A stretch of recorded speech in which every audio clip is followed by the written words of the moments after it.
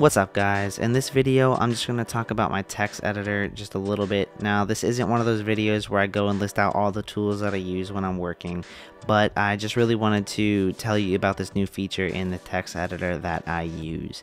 Now I use Atom, uh, it's built by GitHub, so as you can imagine it works really well with GitHub and it works really well with your repositories. When you have a repository cloned to your computer, it'll show you changes you've made to a file and files files you've added to your repository. But that's not the feature I wanted to talk to you about at all.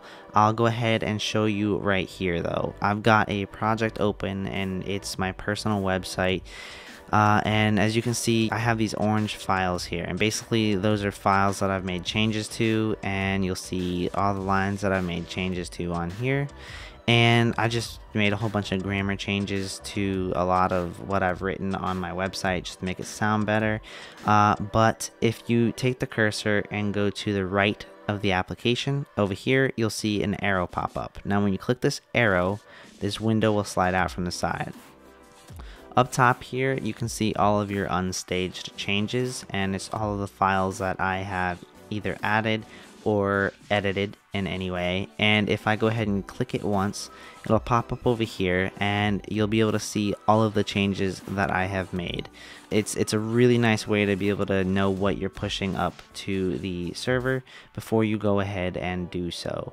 Now to go ahead and stage these changes all you need to do is go ahead and double tap a file and you'll see it's down here in the staged changes.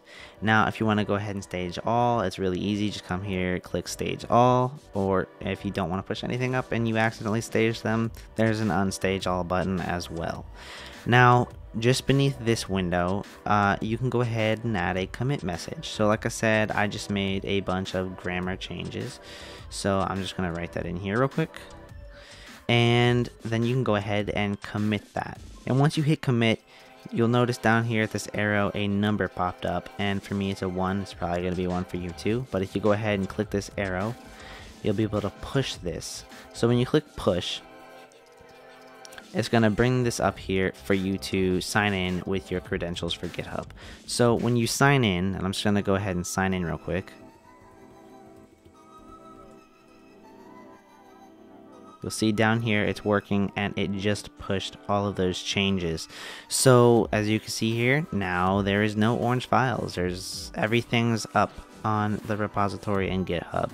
Now, I love being able to do this in Atom because I work with Jekyll a lot and when I'm working with Jekyll I have my terminal open here and I have a server running and to go ahead and push something to GitHub, I had to stop my server, go ahead and see what changes I made, go ahead, add those, commit those, and then push them.